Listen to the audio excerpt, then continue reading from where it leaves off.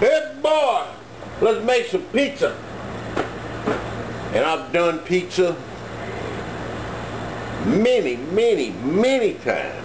You find some videos that are up to five segments long or in five installments.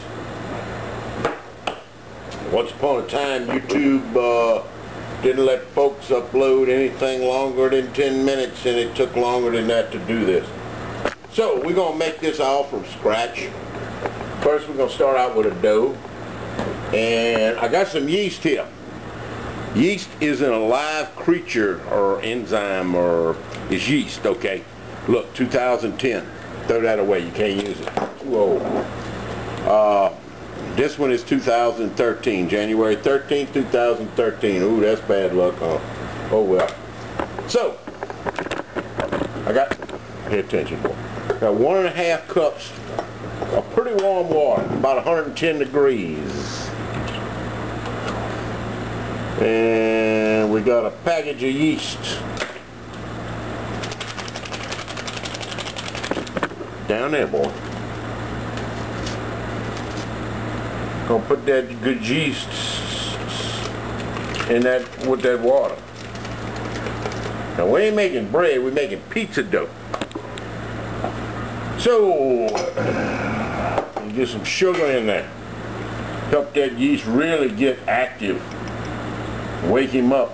Maybe a little more sugar if you like a sweeter crust. That was supposed to be a teaspoon, but I think that's it lies. It's a half a teaspoon. There, now there's a whole teaspoon. We're gonna we're gonna let that yeast and that sugar start uh, proofing. There's another word for it. I, I forget what it is. Autolyze or some garbage like that. It's a baker's term. All right, now there's many different kinds of flour. This is bread flour. It's ground a little different from the other kinds of flour. They even make a specialty pizza flour. Hard to find, but they you can get it. Here's one cup. Gonna put that in there for now. And let that uh, get mixed up, make a poolish, pool-ish. That's what this is called, this step. You, you can or you don't have to do this. There's many different rules that say do this, don't do that, do this, don't put the salt in, put the, just dump every damn thing in, who cares?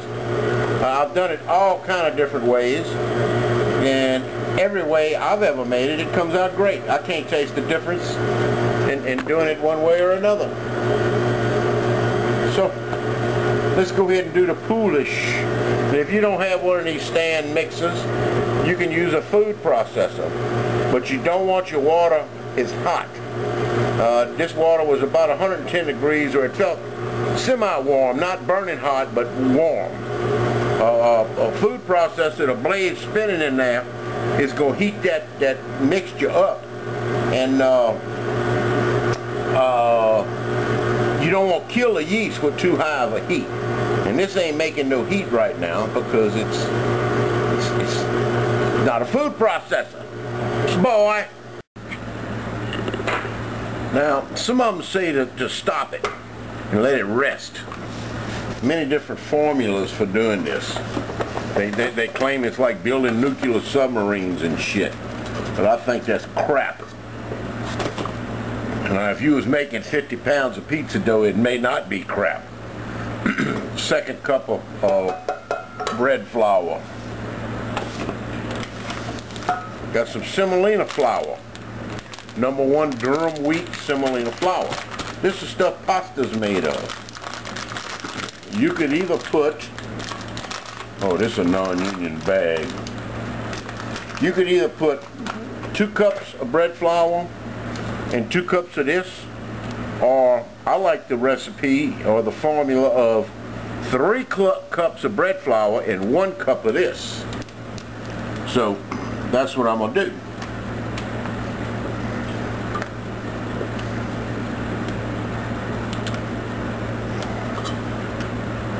Alright. One more cup of bread flour. You're getting low on flour there, JB. Oh, we got enough. There we go. Why you fell over there, boy? Now they say mix it up. Don't mix it up. Add this. Don't add that. To hell with it. Just dump everything else in at this point. Quarter cup uh, EVOO. See, it got a little divi it got divisions on it right there. Quarter cup.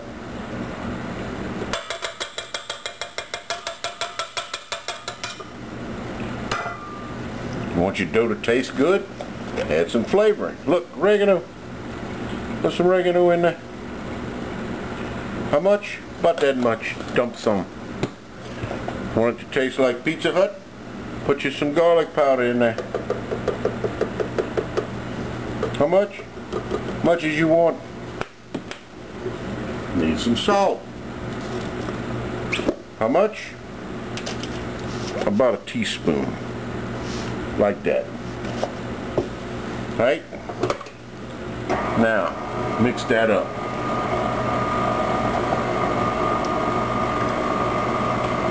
We're gonna have a dough ball gonna appear in a little bit. We're gonna pause the camera for right now, okay? Look at doing the Mexican hat dance. Da da da da da da da da da da da da da da da da Bullshit.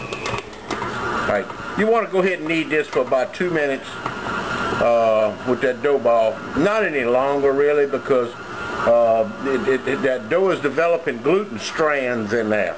And it's going to make it tough if you go too long with it. Okay?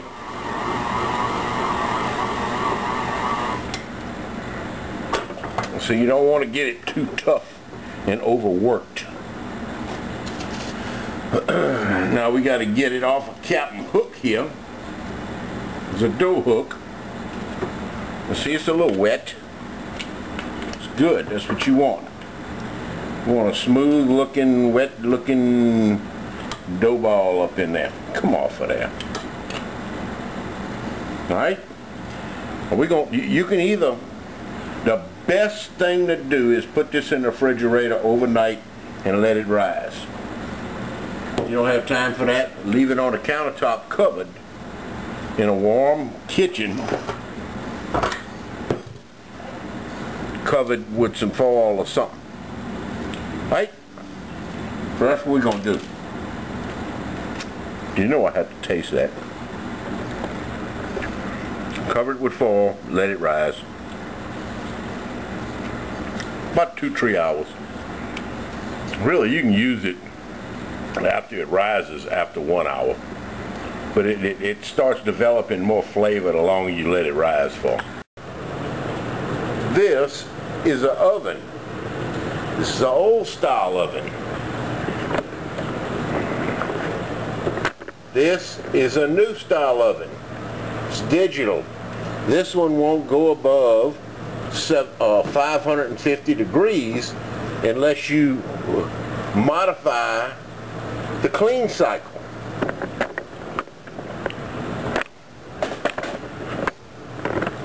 And its safety switches. This one has no clean cycle or safety switches. I want you to pay attention right here. See that temperature dial right there? See, it's set on 350. Look, that's 500, that's Broil. Look, it goes way past that. And, and, and at the wide open setting, this sucker will get up to 750 degrees. All right, there's been a lot of discussion at Slice, Serious Eats subsite Slice. Uh, they've got a pizza lab. And this guy was uh, super genius wannabe was talking about cooking with, with, with your stones at different levels in the oven and, and, what it does.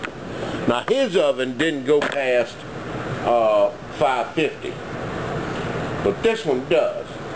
Normally I cook mine with, with the rack, I got another rack, I took it out. With the rack on the lowest level, pizza stone on the bottom, and that, that, that, that pizza stone's thick. You got a thick one like this one. And it, it, it holds a lot of heat energy because every time you open this oven, when it's at a high temperature, heat comes out. So you got to close it real quick.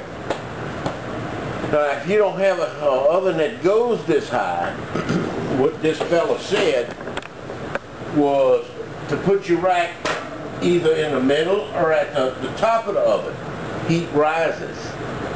Uh, it's not going to re, reju, uh, regenerate that stone as fast like that, however. So, but what that does is allows the crust to, to cook on the bottom. Up here boy. On the bottom on a, in a hot stone and on the top. So the higher in the oven you, you put it the the the better browning effect you're going to have on the top of your pizza with the less burnt effect. Let, let, let's let's recap. Now if you're from New York City where they have coal burning and wood burning ovens, they usually cook them at about 800 degrees or, or fire their ovens to that hot. And that's fine. That means you can get a pizza in there and it's got a special dome. The, the shape of the oven radiates that heat back down on top. A home oven's not like that. So the 800 degree oven, man, you, you can put a pizza in, six, seven minutes later, pull it out. So you can mass produce pizzas like that. And, and, and, and here at home, you can't do that. What is recommended to do with a home type oven is to crank it up high, high as it'll go with the stone in it. Don't put a cold stone in a hot oven, you're going to bust it. Uh, and leave it like that for an hour and it, it gets everything hot. Because the oven has got two layers with insulation in it, and it, it's going to get the whole thing hot. So when you open it and close it fast, it's it's not going to lose as much energy internally. Now, I've noticed in the past when uh, I made pizzas that the first pizza, the, the bottom comes out too black kind of like a coal-fired oven pizza does. And it's good. I love them. And, and the second pizza and the third pizza and the fourth pizza uh, comes out normal in this oven. So we're going to go ahead and, and try it now on the middle rack in this oven and we're going we're gonna put a stone in there and I'm going to put the thickest one that I got. See how thick that stone is right there? Put that stone in there. Of it. These are thinner stones here. They're not going to hold the heat as well. So, close them down and start it preheating. I'm going to put it at a low temperature and bring it up gradually. And I'm going to let it heat up for about uh, an hour. Every uh, 15 minutes, I'm, going to crank it up a little bit more, crank it up a little bit more. So we, we're preheating the whole casing of the oven. Heat does rise. You knew that, huh? That's why a hot air balloon flies. Right here that pizza dough is after about, uh, uh, what is it, two hours. See it done quadrupled in size more or less. The, the, the, the little yeasts done uh, worked and activated that flour and everything else in there. So, first off you need a work surface. Here's a big wooden uh, cutting board. Um, and then you're going to need a dough docker. And what this does, you roll that on that pizza dough. Look over here, boy. You roll that on that pizza dough and it, it pokes little holes in it. You can do it with a fork. Uh, it helps that, that dough release gas out of it while it's cooking so it doesn't make big huge bubbles and, and make the topping just go away from it. Uh, a pizza cutter would be nice. You can use a knife. This is an assembly peel. After you get your dough rolled out or, or spread out, you want to transfer it to your peel. And this is what you put it in the oven on. Now what you want to do to get the pizza to slide off the peel, you want to get some semolina flour and, and, and put it on this peel. That way that pizza will move around. It'll slide around on there. I'm going to show you all that. You can use cornmeal, but cornmeal smokes worse than, than semolina flour does. Now, you can just use that removal peel or the assembly peel, but I got a, a removal peel also to get up under that pizza on that stone that's in the oven and get it out. Another good thing to have is some of these perforated uh, pizza pans. And you can take your pizza out the oven and put it on this. And what that's going to do um, you go ahead and slice the pizza up on this. And being as it got holes in it, you see that? Uh, it's not going to make the pizza bottom soggy. If see, it's steaming when it comes out the oven. So if you put it on a, a flat surface with no holes, the bottom of that pizza ain't going to stay crisp if you don't eat it instantly. So that's why you want a perforated pan. Alright, as promised, from JB's Kitchen to you, homemade pizza sauce. Look, tomato sauce.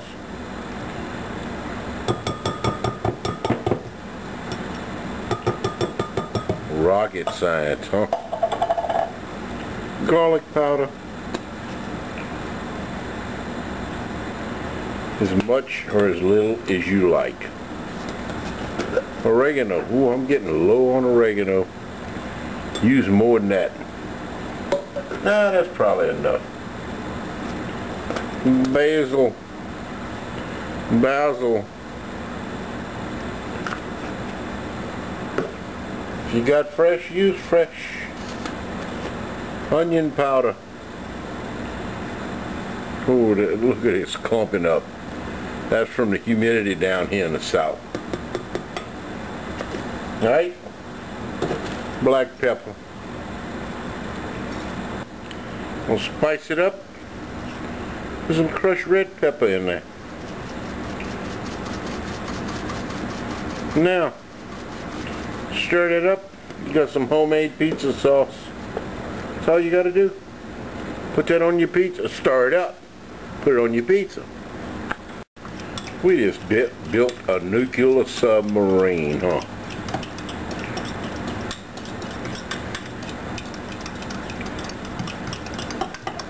Taste it. Yum. Needs more garlic.